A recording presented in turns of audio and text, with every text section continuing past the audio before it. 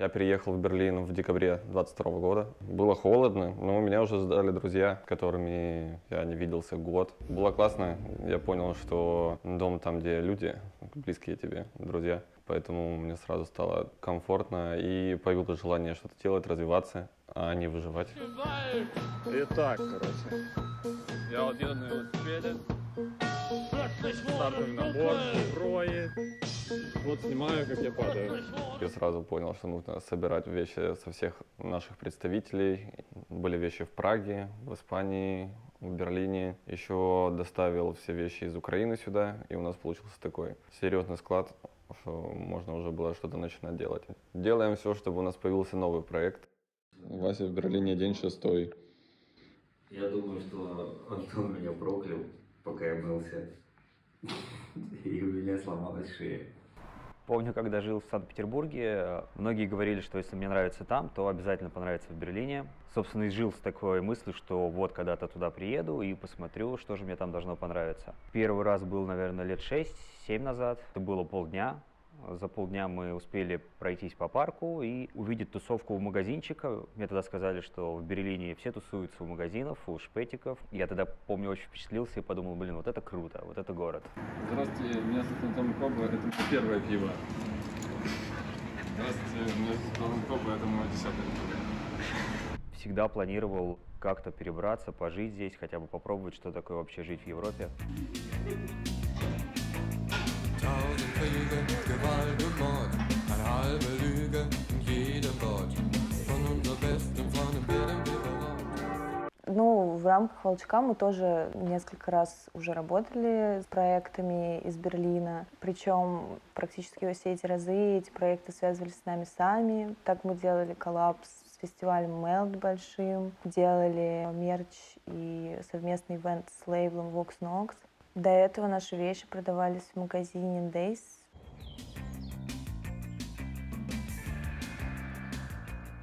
У нас был Инстаграм, Волчок Берлин, был заброшен с очень странным контентом. Мы это все привели в порядок, почистили. Вот так вот мы начали первые шаги к восстановлению своей активности в Европе.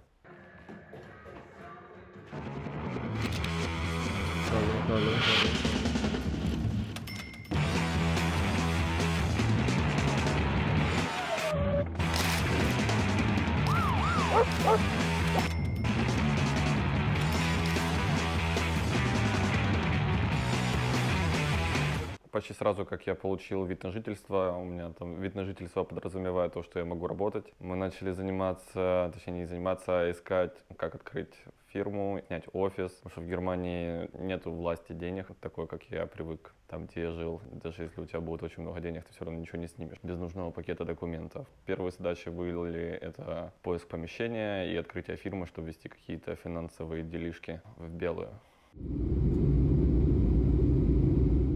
Потом приехали ребята, Маш с Васей, и стало веселее. Скучно точно, могу сказать, не стало. Я, у меня давно такого интенсива рабочего не было.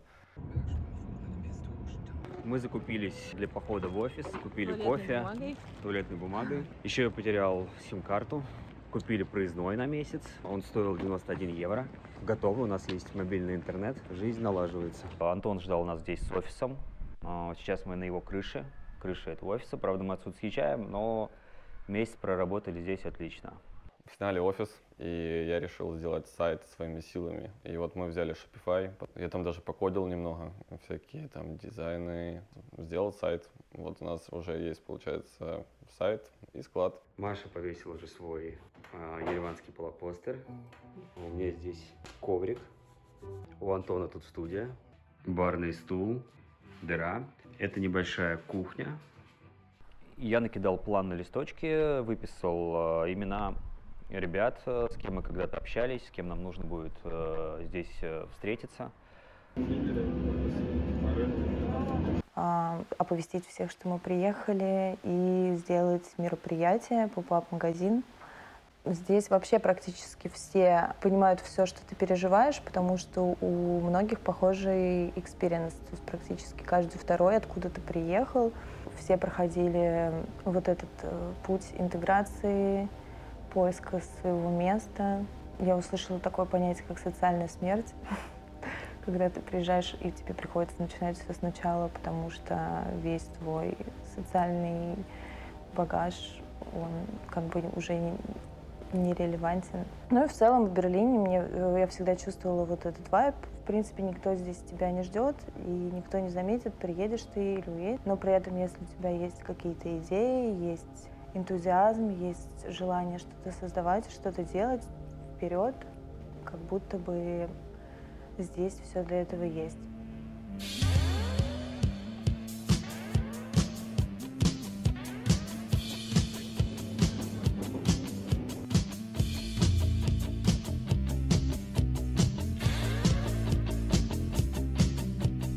Делали подкаст э, с э, диджейкой Xtin. Мы периодически общаемся в Инстаграме и общались до этого. Когда-то она дарила э, Гризли, это мой пес, худи. Я почему-то это очень запомнил, и мне казалось, это очень милый и ва- важный подарок. Еще она, помимо того, что она занимается диджеингом, еще бренд одежды. Мы сходили к ним в гости, Хотелось увидеть вживую людей, у которых есть свои магазины, э, эм, пообщаться с ними, понять, что это возможно и реально. Она из Австрии, еще сооснователь из Барселоны и, по-моему, из Израиля. Классно, что тут ты не чувствуешь себя каким-то чужим, потому что, по сути, все как будто бы откуда-то приехали и нашли себя здесь.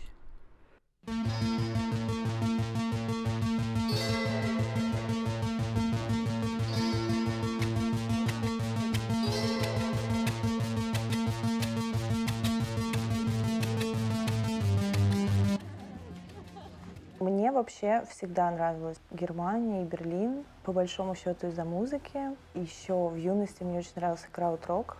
Западный Берлин 80-х, и Industrial, Einstürzen und Neubauten, тоже одна из моих любимых групп. Ну, в общем, как так получилось, что для меня вся музыка, которую я люблю, она как будто зародилась в Германии, и для меня как бы это место всегда ассоциировалось именно с ней.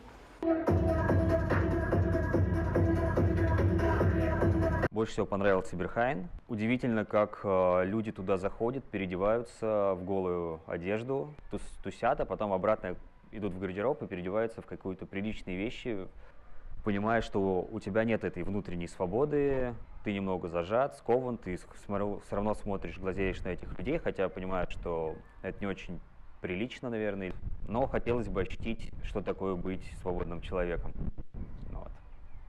Первый раз я приехала в Берлин и пошла в Бергайн. Там на входе тебе ставили печать, а, на которой было написано «Faggot». И я когда это увидела, я подумала, вау, вот это next level.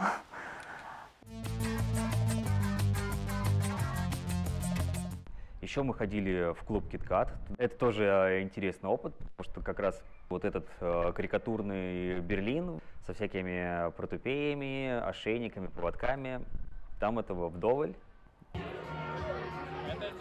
Видео, я...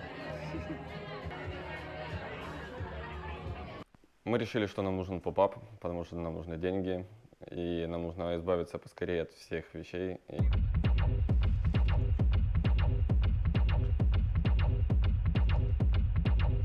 Всегда нравилось так, как мы делаем мероприятия, потому что мы показываем то, чем мы живем, и люди видят, и это лучший, лучший способ пиара, мне кажется, и зап- запомнится человеку. где искать помещение для попапа. Искали как могли, искал основном Антон. В итоге нам ответил магазин э, Мадам Зора. Мы созвонились. Э, Вначале она немножко испугалась, подумала, что мы слишком андеграундные, что мы будем э, слушать громко музыку и валяться пьяными. Сказали, окей, ладно, наверное, так и будет. Э, Но на следующий день она позвонила, сказала, что посмотрела на ютубе интервью со мной и вроде как прониклась, решила пойти нам навстречу. Впервые, мне кажется, видеоинтервью со мной пригодилось.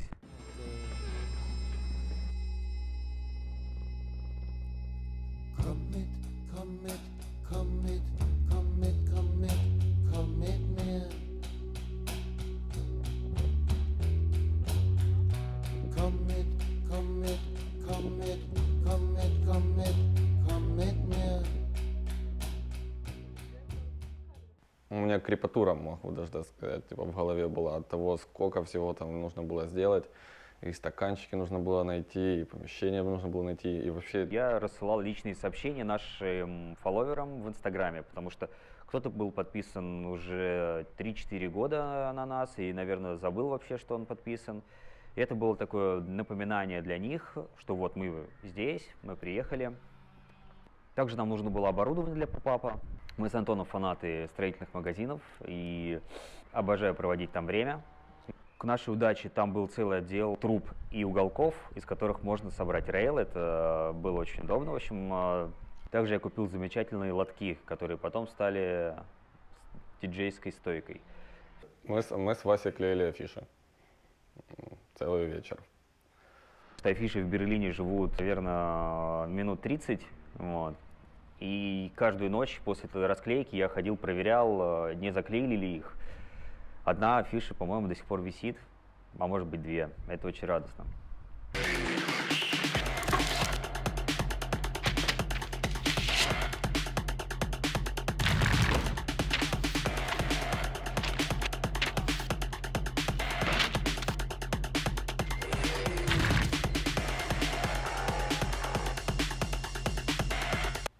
Мое удивление было дофигища людей. Я, если честно, думал, будет намного меньше. Многие люди, которые приходили на наш ивент, знали уже про наш бренд. Очень многие за нами следили, даже не просто за одеждой, которую мы делаем, а за историей. То есть э, кто-то знал нас по коллаборациям с татуировщиками, художниками современными, и многие были в курсе всяких концепций, идей, которые мы использовали для своей коллекции. Кто-то просто видел постеры на улице и из-за этого пришел. Конечно, это было приятно, потому что, в принципе, за время, что мы здесь, практически каждый день мы думали, может, мы вообще занимаемся какой-то фигней, никому это здесь не нужно. В принципе, многие нормальные люди обесценивают свою работу. Мы тоже этим периодически занимаемся. Но вообще классно. Я выучил все цифры на английском, пока там болтал с этими европейцами. И все, музычка играла, пиво пил. Вот так вот поработал. Такой день, целых два. Мы все обожаем делать мероприятия, и вот, наконец, мы тут встретились с Антоном, как в старые добрые времена, что-то делали вместе. Да, ну, планы на будущее увидите в будущем.